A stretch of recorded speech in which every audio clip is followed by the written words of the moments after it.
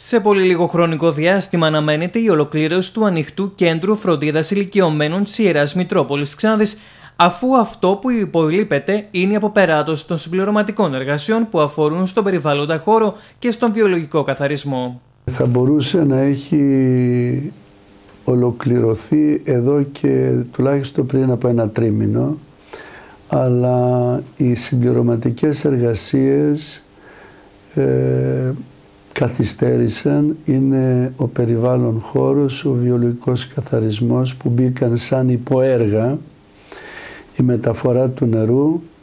Ε, θέλω να πιστεύω ότι μέσα στον ε, Ιούλιο ότι θα εγγενιάσουμε το κέντρο, ούτως ώστε από εκεί και πέρα θα αρχίσει η φιλοξενία των ανθρώπων σύμφωνα με τις προδιαγραφές με τις οποίες εγκρίθηκε η ίδρυση και η λειτουργία του. Πόσα άτομα προσδιορίζετε ότι θα μπορέσει να φιλοξενήσει; Ε, για 50 τουλάχιστον σε πρώτη φάση, για 50 ανθρώπους. Μάλιστα, στις προθέσεις του Σεβασμιωτάτου είναι η εγγενίαση της δομής να γίνει από τον Αρχιεπίσκοπο Ελλάδος, ο οποίος εξεδήλωσε ιδιαίτερο ενδιαφέρον για το εγχείρημα αυτό. Ε, θα έχω μια επικοινωνία με τον μακαριότατο Αρχιεπίσκοπο, γιατί από καιρό του είπα και ίσως εξεδήλωσε την επιθυμία να ανέβει.